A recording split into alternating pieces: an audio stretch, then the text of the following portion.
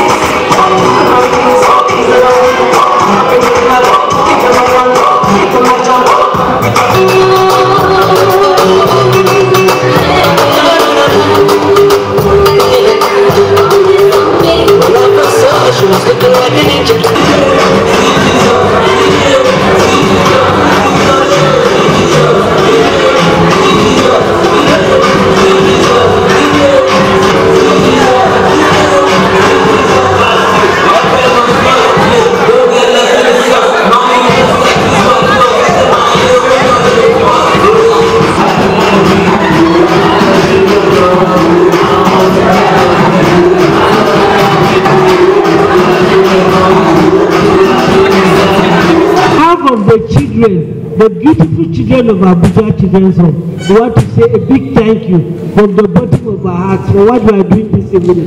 God will bless and replenish 100 and 100 and 1,000 fold from where you have taken in Jesus' name. Amen. Thank you very much.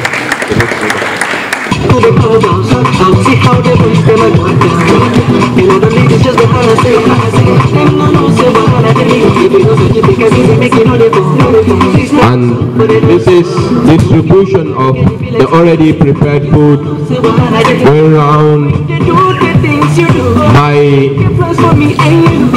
Aja Nana Saratu and our presidential aspirant or a presidential candidate, sorry, of NCP party in person of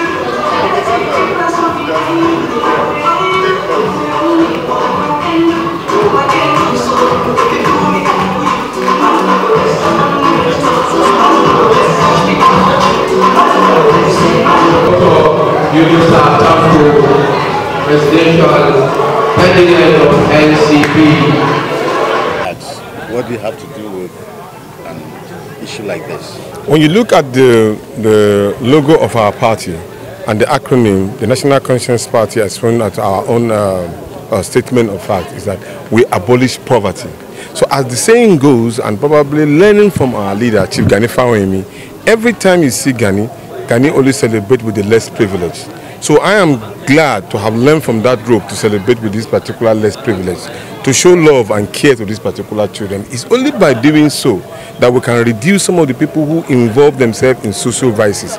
Because when you look at the children, if you let them go the way they are, they have a venom and they have an anger in them that their parent has left them uncared for. So whenever they get into the society, what they become is that they become dangerous element and tools that can be used for any electoral processes that can make the whole election even more. So when we show them love like this, they believe that yes, Nigerians believe in them. So that when they come out, they become useful product and that we use in the capital human capital development in the country. thank you. My name is Dr. Yunusa Tanko. It's something that we should do. It's something to me is very important because in our country, Nigeria, people like this really need our help. We can't do much, but the little we can, we try to do it. So that is exactly what I'm doing. And Nana Foundation is doing this, uh, the same thing to help them if it's school, if it's uh, work, to learn how to do something, working, sewing, or hairdressing, or anything of that sort. What really inspired you, ma? Like, what pushed you to want to have a foundation and actually do these things for the less privileged? Uh, I have been coming to Nigeria very often, and the way I'm seeing our children hanging around up and down without anything, it touches my heart. I'm a mother, I have two children, I know how it is. So for children like that, it's really something big for me to do that for them. Thank you very much. Tuata. I'm the administrator of the home. So, how has it been running this home? Well, I won't say it has been easy because it hasn't been.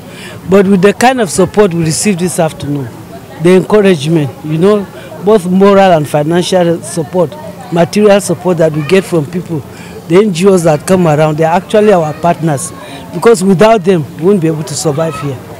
So their contribution makes a lot, make, I mean, give us a lot of uh, courage to continue with what we are doing. That's looking after the orphans, that's caring for the orphans amongst us. Okay, we know that the FCT provided the whole with all the support that you say the NGOs are providing. Hmm. What has been the support from the FCT so far regarding maintenance and keep up this uh, facility? The FCT has been very supportive, I must, I must be honest, because as we speak, they pay the salaries of the staff. You know, they give us a subvention, which of course is not enough. It can be, in fact, doubled before we can meet the required uh, amount that we need to pay the staff. Because they are not even on the minimum, minimum wage. They are just stipends that they take home. And the work is enormous. But they do it anyway because they have the passion to do it.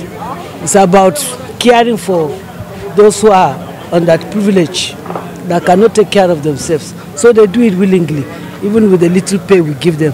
So FCT, besides donating some of these facilities, like the administrative structure, and most of the hostels were donated by individuals and corporate bodies, like this uh, high rise, this hostel. Yeah, it was donated by, I said NGOs, a group of people that came together and decided to put up this building for the children. So what- what basically are the challenges? sustenance there are times you you feel a little bit uh, i mean discouraged because the help you are needing is not forthcoming. Like educationally children are going back to school. You probably have only for 50,000 and you need nothing less than 500,000 you look up you look down no help. So it becomes a problem. So that's those are the major challenges. And then of course children being sick. And then you go to the hospital and you are treated just like any other patient you expect to get waivers in situations like that e- especially when a child requires emergency attention. You are asked maybe money you don't have at that time to go and buy card which is over a thousand naira. Probably we didn't have it at that time. But you have to do it anyway to save the child's life